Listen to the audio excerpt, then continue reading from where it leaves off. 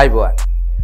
අපි ලෝක ඉතිහාසය පිළිබඳව ලෝකේ බොහෝ රටවල ඉතිහාසය ගොඩනැගිච්චාකාරය එවගේම දේශපාලන ක්‍රම පිළිබඳව සාකච්ඡා කිරීම නිරන්තරයෙන්ම සිදු කරනවා.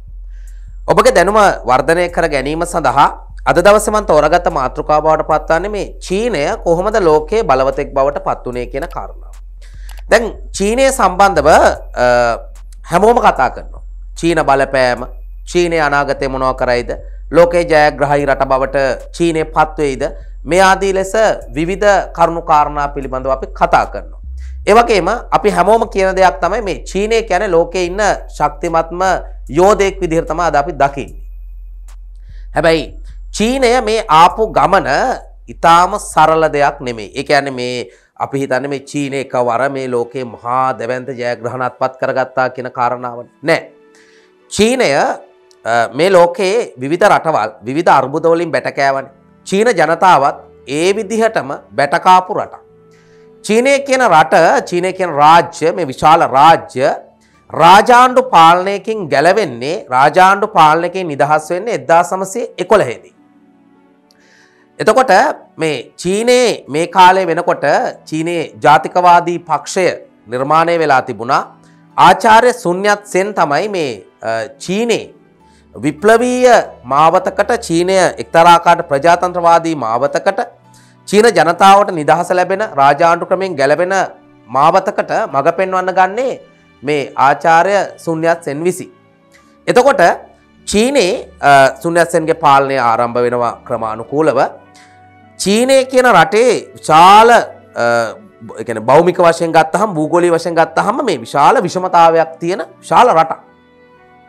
මේ කියන චීනය ගොවියෝ තාම පීඩාවට පත්වෙලා හිටියා එක්තර ආකාරයකට මේ වංශාධිපතින්ගෙන් රදලයන්ගේ මේ විදිහට හමුදා එක් ප්‍රදේශල හමුදා පාලකයන්ගෙන් බැටකාපු රටක් චීනය.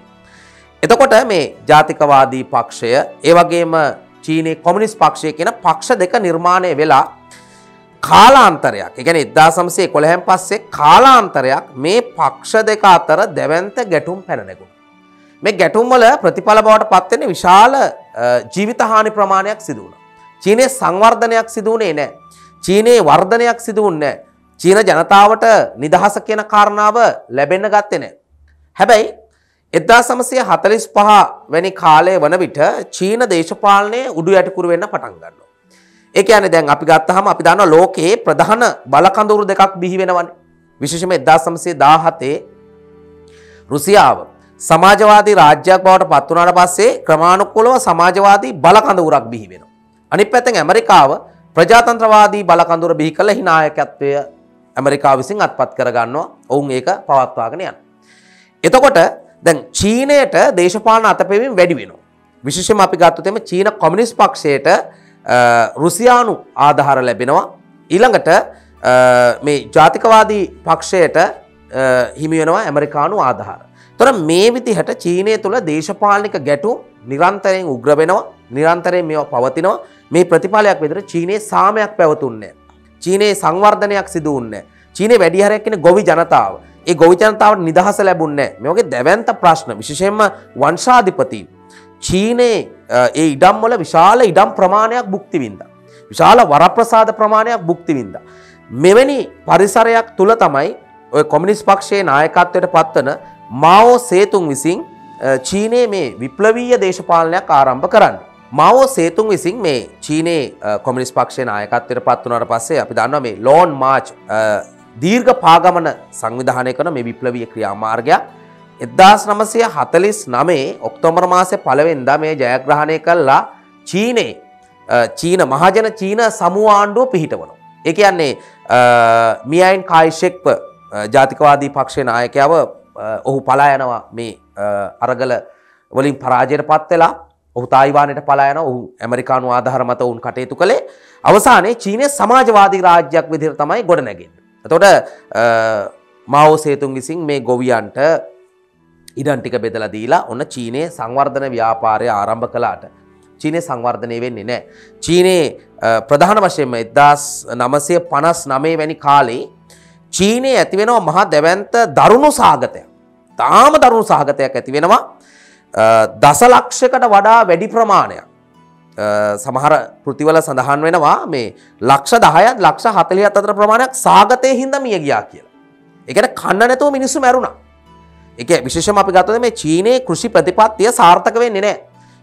අද අපි දන්න දෙයක් තමයි චීනය අද ලෝකයේ විවිධ රටවලට කෘෂි බෝග නිෂ්පාදන අල්විකන රටක්නේ. එතකොට චීනය ආරම්භේති ගත්ත මේ කෘෂි විප්ලවය සාර්ථක වෙන්න ඒ රටේ සාගත්තත්වයක් ඇතිවල විශාල ප්‍රමාණයක් මැරණු. අදටත් අපි දන්න දෙයක් තමයි මේ චීනේ සුනකව ආහාරයට ගන්න. විවිධ සත්තු ආහාරයට ගන්න. පණුව ආහාරයට ගන්න. සමහරලාවට මේ තරම් මේ අපිත පිළිකුල් කරන සත්තු පව ආහාරයට ගන්නව ඇත්තේ ඔය සාගතෙන් ඇතිවුණු පුරුද්ද වින්ද වෙන්නේ නැති. ගැන කන්න දෙයක් නැති කමට මිනිස්සු කෑවෙන්න පුළුවන්.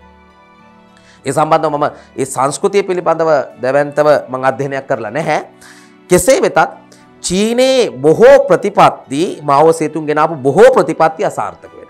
විශේෂම අපි ගත්තොත් එම සංස්කෘතික විප්ලවය පවා අසාර්ථක වෙනවා චීනය ඔය අපි කතා කරන එදදාස් නමසේ හැට ගණන් වන විට ඉතරං සාර්ථකතාවයක් තියෙන රටක් විදිර අපට චීනය සලකන්න බෑ. හැබැයි චීනය නිරන්තරයෙන් උත්සාහ කලා ඔවුන්ගේ විදේශ ප්‍රතිපත්තිය තුළ වෙනත් රටවල් එක සම්බන්ධ වෙන්න. මොකද චීනය කියන රට අන අතීතයේදී. සේදමාවත කෙලවර වෙන්නේ සේදරදි ටික ගෙනියන්නේ චීනයට චීනයෙන් ගෙනියන්නේ එතොර චීනෙන් නම් ගෙනියන්නේ චීනයට ජාත්‍යන්තරව අතීතී නම් දැවන්ත අවධානයක් තිබුණු රටක්න එසා ඔය චීන විප්ලවයෙන් පස්සේ මව සේතුන් හා ඊට පස්සෙන බොහෝ නායකයෝ තීන්දු කරපු දෙයක් තමයි අර පැරණි වෙළඳාම පැරණි බලය පැරණි ආර්ථික බලය නැවතවුන් ග්‍රහණය කරගත යුතුයි කියන කාරණා. ඒවගේම රටවල් එක්ක ඔවුන් උපරිම උත්සාහ කලා සුහදව කටයුතු කරන්න. නමුත් අපි චීන විදේශ ප්‍රතිපත්ති ගත්තහම ඉන්දියාවත් එක්ක පොඩි අර්බුදයක් තියෙන පොඩි නෑක දැවන්ත අර්බුදයක් ඒවගේ ගැටලු තියෙනවා ඒවගේම චීනයට තියෙන බෞමික වශයෙන් බූදේශපාලික වශයෙන් බාධා ගණනාවක් තියෙන අපි ඉස්සරට කතා කරම ඒව ගැන චීනයේ අභ්‍යන්තර ප්‍රතිපත්ති ගණනාවක් අසාර්ථක වෙන. හැබැයි චීන දේශපාලනය යම් වෙනසක් සිදුවෙනවා මාවෝ සේතුන්ගෙන් පස්සේ. එදදා සමසය හැත්ත අටේ මේ මාවෝසේතුන්ගෙන් පස්සේ චීනයේ බලයට පත්වෙනවා ඩෙන් ශියාවෝ පෙන් කියන නායකය ජනාධිපතිවරය. එතුමා විසින් චීන ප්‍රතිපත්තිය වෙනසක් සිදු කරනවා දැන් චීනය සමාජවාදී ප්‍රතිපත්තියක් එක්කන ගමන් කළේ. හැබැයි චීනයේ කොමිනිස් ආකෘතිය මොහු වෙනස් කරන්නේ නෑ. කොමිනිස් ක්‍රමේ එහෙම පවත්තන් එන ගමන් ධනවාදයට විවෘත කරනවා චීනය.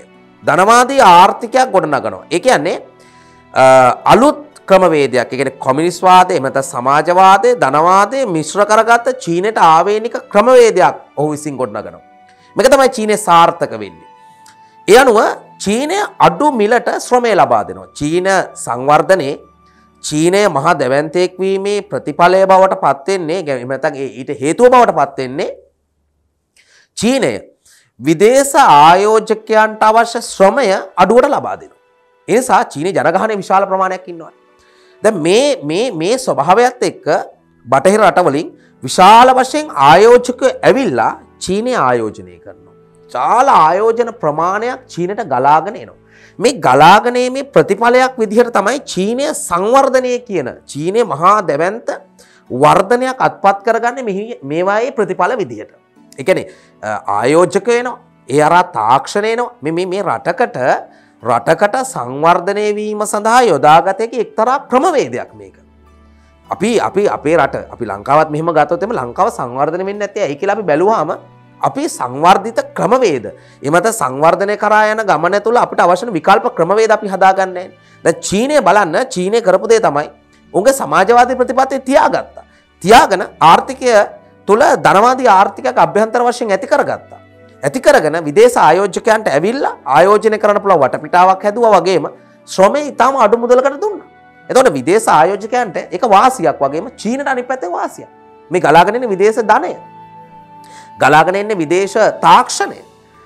කාර්මික තාක්ෂණය. උතර බලන්න කොච්චර ප්‍රමාණයක් ඔවුන් මේ හරහා ගත්තද කියනවා නම් චීනයේ වේගවත් ආර්ථික ගමනක් ආරම්භ කරන්න පටන් ගන්නේ මේවායේ ප්‍රතිඵලයක් විදිහට. එද්දාස් නමසය හැත්ත අට වෙන විට චීනයේ විදේශ සංචිත ප්‍රමාණය ඩොලර් මිලියන දහයයිවෙන්. හැබැයි එද්දාස් නමසය අසූ පහ වෙන විට ඔවුන් ඇමරිකානු ඩොලර් බිලියන විසි පහදක්වා මේ තත්ත්වය වර්ධනය කරගන්න. දෙදස් එක වෙන විට ඔවුන් ලෝක වෙල්ද පොලේ ලෝක වෙල්ද සංවිධානයේ සාමාජිකත්වය ගන්න. තොර ඔවුන්ගේ ආර්ථිකය ඔවුන් ක්‍රමාණුකූලව ප්‍රසාරණය කරගන්න. මොකද ඔවුන් කරපු ප්‍රධානම් කාර්ය තමයි තමන්ගේ රටට විදේශ ආයෝජකයන්ට එන්න පුළුවන් පරිසරයක් සකස් කිරීම හරහා තමයි ඔවුන් මේ තත්ත්වය උදා කරගන්න. තොර අද වන විට චීනය පුෂිකාර්මික වශයෙන් ගත්තහම දැවන්ත සංවර්ධනයක් ලබාතින් රටක්. නමුත් දැන් අපි අපි ගත්තහම තවමත් එස ජාතින්ගේ නිර්ණායක අනුව අපි චීනය සලකන්නේ නැහැ සංවර්ධිත රටක් විදිහට. එකන සමස්ස චීන ජනගහනය ගත්තහම ඒක පුද්ගල ආදායම් වෙන්නේ ඇමරිකාන් ඩොලර් දහදහයි. එතොර ඇමරිකාවේ ඒක පුද්ගල ආදායම් වෙන්නේ ඇමරිකානු ඩොලර් හැට දෙදහක් වැනි ප්‍රමාණය කුතර අපට පේනවා චීනය තවම ඉන්නේ ඒක පුද්ගල ආදායමතින් පහළමට්ටමක. ඒ විශාල ජනගහනයත් එක්ක. නමුත් ඔවුන් දැවන්ත සංවර්ධන ව්‍යාපෘති සඳහා ඒ ආයෝජන කිරීම් ඒව නවත්තන්න. දැන් චීනය වර්තමානය චීනය ගත්තහම අපි සලකන්නේ ලෝකයේ මෙති නිර්ණයකත් එක ලෝකයේ දෙවනි ආර්ථික බලවතා බවට පත්වෙලා තියෙන චී. චීනය කොහොමද මේ ගමනාවේ මේ දෙවනි තත්ත්වයට චීනය පත්වනේ කොහොමද. දර මම ආරම්භේති කිව්වා චීනය බොහෝසයින් අපේ භාෂංගන කට්ට කලාපුරට. එතකොට ඔවුන් ඔවුන් යොදාගත්ත ක්‍රමවේදය තමයි මේ අර සේදමාවත නැවත පැරණි සේදමාවත විවෘත කර ගැනීම. තොට ඔවුන් කළේ බොහෝ රටවල් එක සම්බන්ධතා පැවැත්තුව. බොහෝ රටවල්වල ආයෝජනය කළා. රටවල් හැත්ත එකක රිජු ආයෝජන කරලා තින චීනය මේ වන විට. රටවල් හැත්ත එකක. ඒවගේම ඒ හැම රටකම ඒ හැම රටකම මාර්ග පද්ධතිය සම්බන්ධ උන්ගේ ආයෝජන තියෙනවා. වරායන් සම්බන්ධ ආයෝජන තියෙන. මුහුදු තීර සම්බන්ධ ආයෝජන තියෙන. එතකොට ඔවුන්ට මේ රටවල් හැත්ත එක භාවිතා කරමින් ඔවුන්ගේ බහන්ඩ බෙදාහැරීම පහසු වෙනවා. චීනය උපායමාර්ගිකව සැලසුම් සාගතව දිගුකාලීන ප්‍රතිපත්ති මත තමයි මේ මේ ගමන ඔවුන් යන්නේ. සමහර ව්‍යාපෘත්තියනවා චීනය ඇතුළම ඊට විරුත්තා ඇති ඇති වෙලා තියෙනවා. එකන අනවශ්‍ය මුදල් වීදක නමුත් ඔවුන් සැලසුම් කරන්නේ අනාගතය. එතවට රටවල් හැත්තේක රිජවායෝජන කරන්නකොට ඔවුන් බොහෝ විට වරායන් උපයෝගි කරගත්ත වරායන් තමයි අත්පත් කර ගැනීම. ඉට පස්සේ මාර්ගටික මුහුදු ලාබලබන සාගර කලාප මේ වැතම උන් ආයෝජනය කර තොට පැරණි සේද මාවත විවෘත කරගත යුතුය කියන ආකල්පය චීනයේ චීන රජයේ ප්‍රධාන ආකල්පය බවට පත් වෙලා තිනොතර ඒක ප්‍රතිඵලයක් විතර ඔවුන්ට කිසිම බාධාවකින් තොරව තමන්ගේ බහන්ඩ හා සේවා බෙදා හැරීම පැහැදිලිවම සිදුකර ගැනීමේ හැකියාව තිනොතර එනිසා තමයි චීනය අද වන විට බොහෝ රටවල ආර්ථිකයට බලපෑම් කරන්නේ. බොහෝ රටවල් වල තියෙන එක අපි කියන අපි සමහරලට අපි කියන මේ පාඩු ලබනොක් කියලා අපි කියන්න ඒව පවා චීනය ගන්නේයි චීනයට එය උපායමාර්ගික වැදගත්. වෙළඳ වශයෙන් වැදගත්. විශේෂයෙන්ම දෙදස් දහතුනේදී ශී ජින්පින් ජනාධිපතිවරයා බලයට පත් වනාට පස්සේ ඕ පැහැදිලිව කියන කාරණාවත් තමයි අපි ලෝකේ රටවල්ලට රිජු ආයෝජන කරන්න ඕන. අපේ සේදමාවත අපි විවෘත කරගන්න ඕන. ඕ ව්‍යවස්ථාව සංශෝධනය කරගන්නවා තමන්ට දිවි ඇතිතාක් බලය රැඳෙන්. හැබැයි අද වන විටත් චීන ජනතාවට ඒ පිළිබඳ විරෝධතාවයක් නෑ මොකද ඔහුගේ පාලනය හරි විනිමිතයි. දැන් අපි ගත්තොත් එහෙම දැන් චීනයේ ඉදිරියේ තියෙනවා මේ අපි ඉසල කතා කළා මේ බාධකයක් ඔය දැන් පැසිෆික් මුහුදට විවෘත වෙන්න බෑ. බොහෝ දූපත් රාජ්‍යයන් ගණනාවක් තියෙනවා. ඒ නිසා චීනෙට මුහුදු අත්පත් කරගන්න හා ඔවුන්ගේ බලය ව්‍යාප්ත කිරීමේ ප්‍රශ්නයක් තියෙනවා. තායිවානය සම්බන්ධවත් ඔය ප්‍රශ්නයම තියෙනවා දැන්. ඒකෙදි රුසියාව පැහැදිලිව කියන කාරණාව තමයි චීනට ඒ තායිවානය අයිති කියන කාරණාව ඇමරිකාව ඊට විරුද්ධ මතයක් දරන හැබැයි චීනය ඉන්දියාවත් එක ගත්තත් ගැටුම් ස්වභාවයක් තියෙනවා. අද වෙනකොට චීනය ඇෆ්ගනිස්ථාන්ට අවධානය යොමු කරනවා. අනික් අතට ඇමරිකාව ඇෆ්ගනිස්ථානයට පිළිබඳ තියෙන අවධානයට වඩා ඇමරිකාව අවධානය යොමු කරන්නේ පාකිස්ථානය දෙසට. උපාය මාර්ගික වශයෙන් භූදේශපාලික වශයෙන්. එතකොට අපිට පේනවා මේ හැම රටක්ම තමන්ගේ ජාතික අභිලාශය ජාතික බලය ජාත්‍යන්තරය තුර ප්‍රදර්ශනය කරන්න ඔවුන් හැම වෙලාම කටයුතු කරන්න.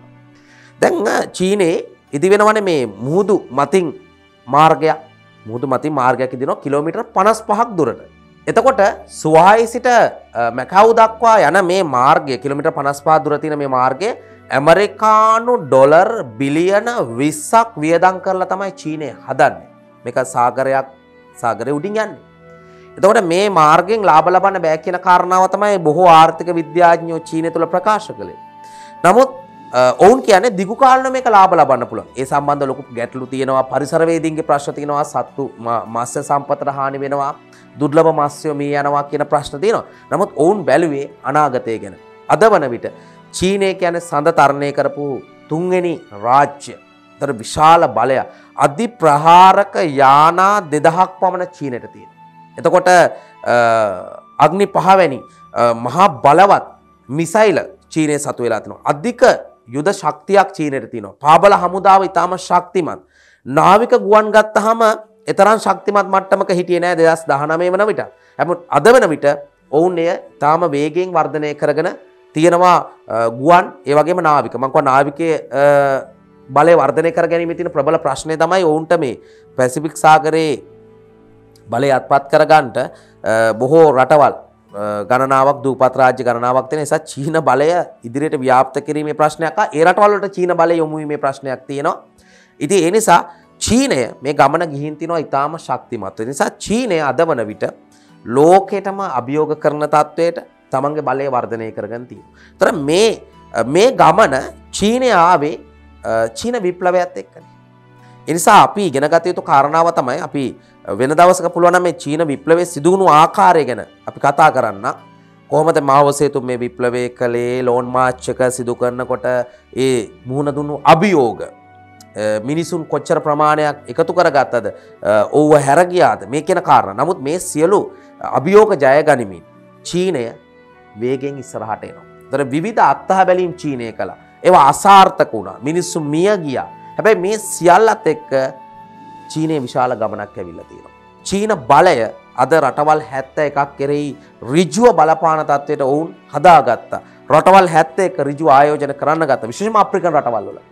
විශෂම අප්‍රිකන් රටවල්වල මස්්‍ය සම්පත සම්බන්ධ මුහුදු මස්්‍ය සම්පත් සම්බන්ධ විශාල වශයෙන් ආයෝජනය කළතින විශාල වශයෙන් ඒ මස්්‍යයන්ව මාලුටික අල්ලලා තමන් චීනට ගෙනියන තොට අනු නම බදුවලට වෙන්න පුළුව විධ ක්‍රමවේද වෙන්න පුල ලංකාවෙන අනුනම් බදු කියන කාරණාව අපි ඇවිලතින් තර විධ ආකාරයට චීනය තමන්ගේ ආයෝජනය කරගෙන තියෙනවා. නිසා අපි මෙහිදී අද දවසේ අපි බලාපොරොත්තුනේ ඔබට මේ රටවල් ගැන මේ මේ අපිට පුළුවන් යම් දැනුමක් ඔබට ලබා දෙන්න. තොර මේ රටවල් වලින් අපේ රටවල් සංවර්ධනය කරන්න ගන්න පුළුවන් ක්‍රියාමාර්ග. දැන් අපි ගත්තාම අපේ රට ගුවන් සීමාවල එකන ගුවන් කලාපවල කේන්ද්‍රිය රට. නාවික කලාපොල කේන්ද්‍රිය රටා. එතකොට ඕනෑ තරම් සැපවුම් ලබාදිය හැකි රටක් ශ්‍රී ලංකාව. නමුත් අපි අද නිධානයක් උඩ හිඟාකන තත්වයට අපි පත් වෙලා තියෙන්නේ අපේ උපාය මාර්ගික භාවයක් නැතිකම. අපි අභියෝගවලට මුහුණ දෙන්නේ නැතිකම. අපි වැඩ කරන්නේ නැතිකම.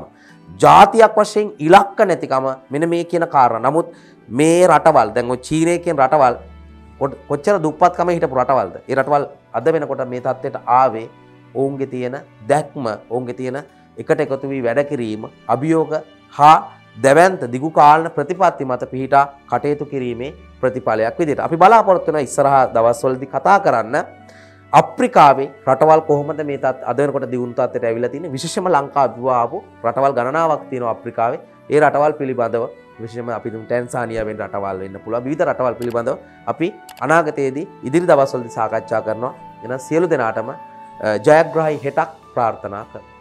you